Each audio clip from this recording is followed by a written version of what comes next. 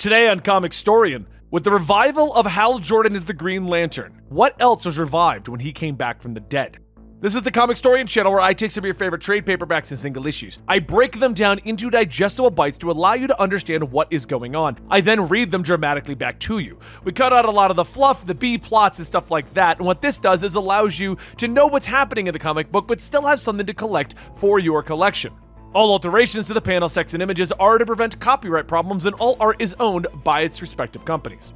Today we're going to be looking at the Green Lantern graphic novel known as No Fear. This is technically part two of the Geoff Johns saga, and we're going to bring you the first story that is within this volume. This is the return of another being that was revived when Hal Jordan was revived in our last video. If you missed last video, Hal Jordan has just returned from the dead and gotten his Green Lantern ring back. And if you want early access to these videos, make sure you join us over at Patreon at patreon.com slash comicstorian. All right, let's get into this video. Green Lantern No Fear, first of two stories. Hal Jordan and his partner are flying their Raptor jets throughout the canyon, playing a game of cards with each other. And as that experience comes to its end, we see that Hal Jordan is finally back into the Air Force. But as he heads into the locker room, he grabs his ring and he checks in with John Stewart. Hey, I've got a zero zero, John tells him, indicating an abandoned spacecraft in orbit. Hal nods his head, glowing green for a moment before transforming into the Green Lantern, leaping into the sky. But as he is leaving, over in Barstow, California, an Air Force airman is walking out of a convenience store with a few coffees and lunch in hand. He heads back to his partner at their transport truck where he finds the man slowly peeking underneath the tarp of whatever they're hauling. He's quickly told to not worry about that. It's classified, meaning that if his partner looks again, he's going to shoot. The darkness beneath that tarp, it's moaning. Meanwhile, Hal Jordan is meeting with John in orbit, and the former Marine points out that he's shocked that Hal went back to the Air Force. Isn't belonging to one organization enough? John asks as they fly through space, but Hal points out that the Corps only has five officers, and they still aren't sure the Guardians are going to restart it. In the distance, they see a large yellow ship floating gently. There was a time when yellow was their weakness, but now they know the impurity is a part of the demon parallax. They know that they can overcome their fear and fight through it. So the two use their rings to cut a hole into the ship's hull, floating inside. Their rings aren't picking up any life support systems, navigational systems. It's not picking up anything, and especially not anything that is organic. On top of that, the fuel cells are empty. But back in Barstow, California, something has landed in a large, fiery crater on the highway. A strange being, bald, dressed in a blue spacesuit. He steps out, finding a man arguing with his girlfriend behind the gas station. The man sees the strange alien picking up a pipe and tries to pick a fight. The strange being holds up his hand, and the man's body explodes. Threat terminated, the being says in a robotic voice, and the young woman falls to the ground, her eyes in tears as she looks at the mess of what remains of her boyfriend. Primary directive locate predecessor. Secondary directive terminate all life. The alien says, his glowing hand raising to the women. Back with Hal and John, though. They have no trail or idea as to what to follow. So, Hal returns to his apartment in Coast City. He thinks to himself about how the government is trying to entice people to return to Coast City as he passes all of the construction, but the city itself is still relatively empty. As he goes to his door, someone calls out, I don't believe it. I thought you were dead. Hal is shocked, turning to see his younger brother Jim walking towards him with a big smile. The two begin to catch up with Hal asking if Jim intends to move back to Coast City, but Jim shakes his head, telling him that he doesn't believe he should. Too many bad things happen here. They begin to argue about that, but they're interrupted as a loud boom sounds overhead and the windows begin to shatter. Hal looks up to see a jet barreling over the city, its engines on fire as it begins to crash, and he reaches out, willing his power battery to appear before him. You might want to cover your eyes. Hal tells his brother as the apartment is filled with green light. He begins to fly after the jet in seconds, reaching out with his willpower to snag it out of the air. He quickly brings it outside of the city, setting it down near some firefighters. The canopy cracks open and Hal's mouth drops open as the pilot gets out, removing her helmet, letting her long blonde hair fall to her shoulders. Yellow, my one weakness, he thinks with a smile. The woman thanks him for the save and introduces herself as Captain Jillian Pearlman. They have a brief moment as the firefighters move in towards the jet to put it out, but everyone turns as the smoke clears to reveal a strange engine within the plane. That's not from Earth, Hal thinks as he sees it. Meanwhile, outside of the city, the Air Force truck passes a sign for Edwards Air Force Base, the tarp blowing in the breeze, revealing a glowing cybernetic eye. No man escapes us, the robotic eye stammers. Later, a bus passes the same sign and the driver stops as he sees the other strange bald alien. He hits the brakes, screeching to a halt. Do you need a lift or something? He shouts out of the window, but the alien turns, lifting his glowing hand. No, he says simply, with the bus and all of its passengers destroyed. The alien doesn't react to that, simply turning away and continuing to walk down the highway. Back over with the strange aircraft, Hal is explaining to Captain Pearlman that her engine isn't from Earth. You have a UFO under your hood, he tells her, kneeling down to examine the engine. He allows his ring to scan it, and the ring tells him that the engine was built on Earth, but is of alien design. I think part of this was reverse engineered. Hal tells Pearlman, who is still standing close to him. They both turn, though, as a Jeep pulls up and outsteps General Stone, the officer that Hal punched long ago. The general holds out his hand to greet the Green Lantern, and Hal looks at him for a moment, remembering what happened between them, but he finally reaches out, shaking the general's hand. Captain Pearlman and Hal begin to question what she was flying, but the general simply tells them both it's classified. Hal doesn't argue, telling the general that he understands and he flies off. And when John wants to tell him about the destruction on the highway, he tells him that he's got a few things to handle back where he's at right now. He heads back to his apartment where he finds his brother still waiting for him, and they quickly return to their conversation about the city and their past. Jim telling his brother to give up his life in the Air Force and just be a Green Lantern. You and I are the only Jordans left, Jim tells him as he looks out at the ghost town that Ghost City has become. I won't live in fear, Jim. I can't. Hal tells him softly. Hal eventually returns to Edwards Air Force Base, where he goes to see his friend, and they discuss if he should apologize to the general for punching him so long ago.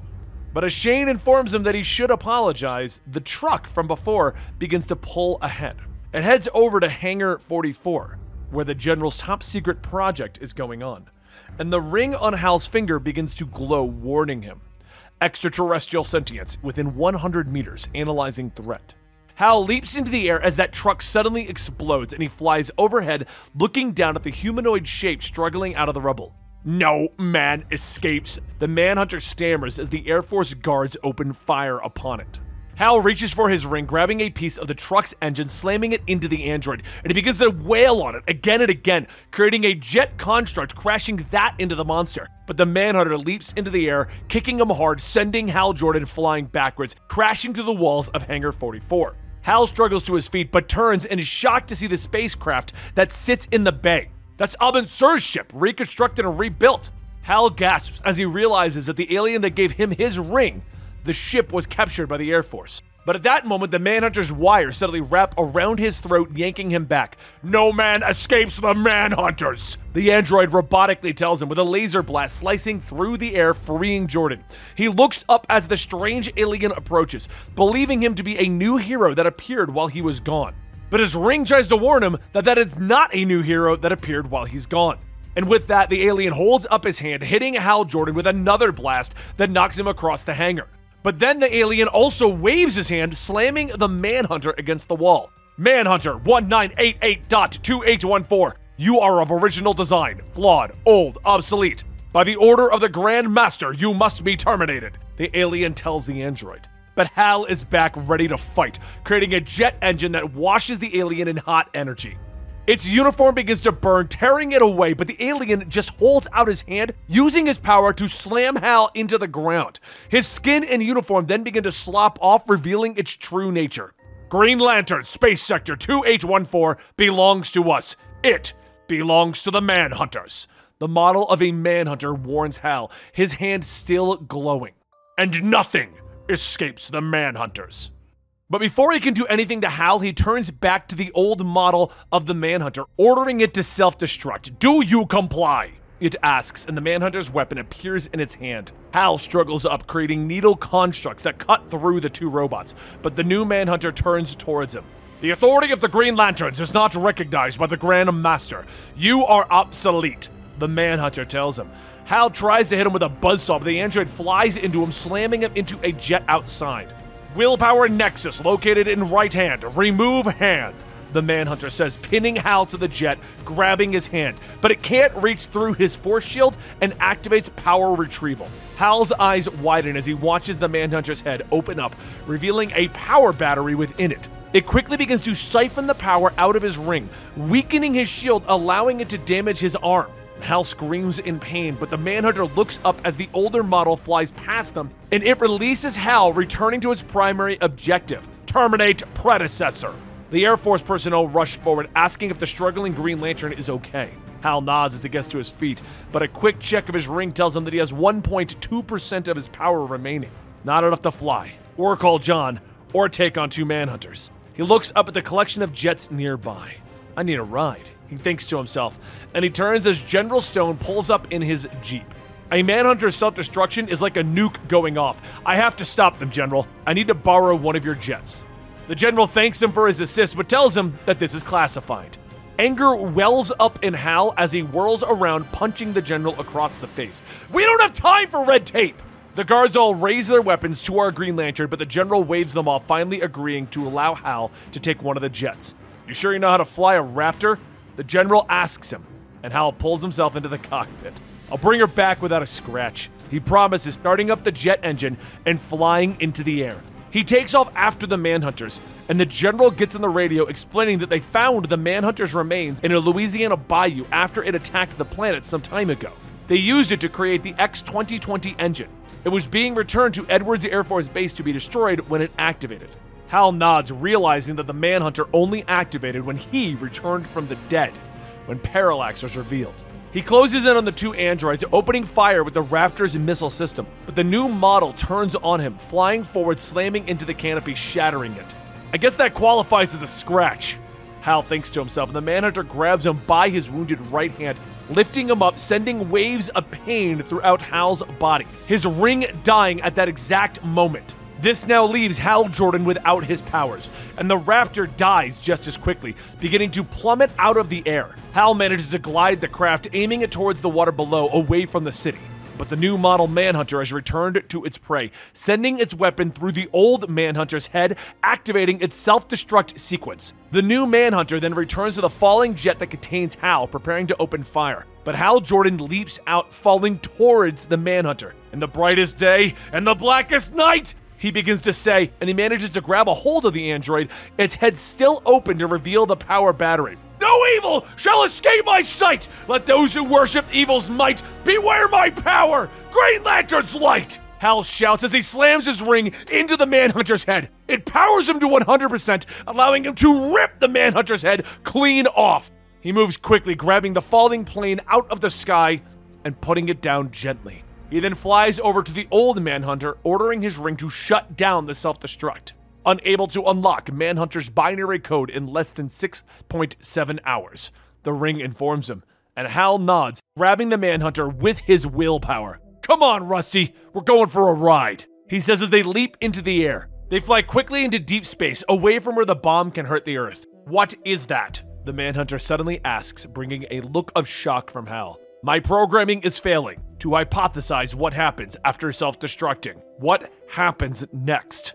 I feel fear.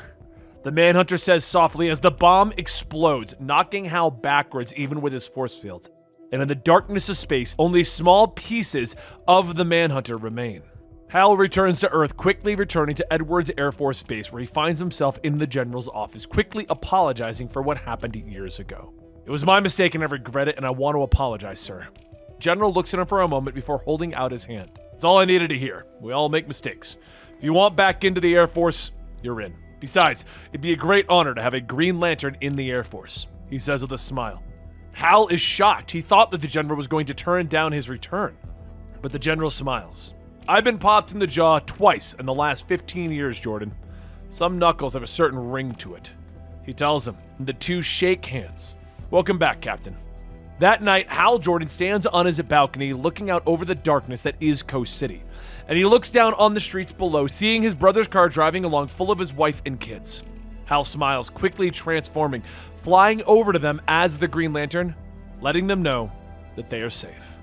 Meanwhile, in the darkness of space in an unknown sector that is the home of the Manhunter artificial planet, the Manhunters now warn the Grand Master of the Corps' return. But the Grand Master is unconcerned. Let them. I need the rings back online. Then nothing can escape us. Not even Hal Jordan. The Grand Master tells his androids looking at the remains of several Green Lanterns. And there you have it, the first story in Green Lantern No Fear, a volume that does contain two full stories of Green Lantern adventures. This is all setting up what journey Hal Jordan's going to go on, and I hope you guys enjoy it. Don't forget to like, subscribe, and hit that notification bell, and I'll see you next time right here at the Comicstorian channel.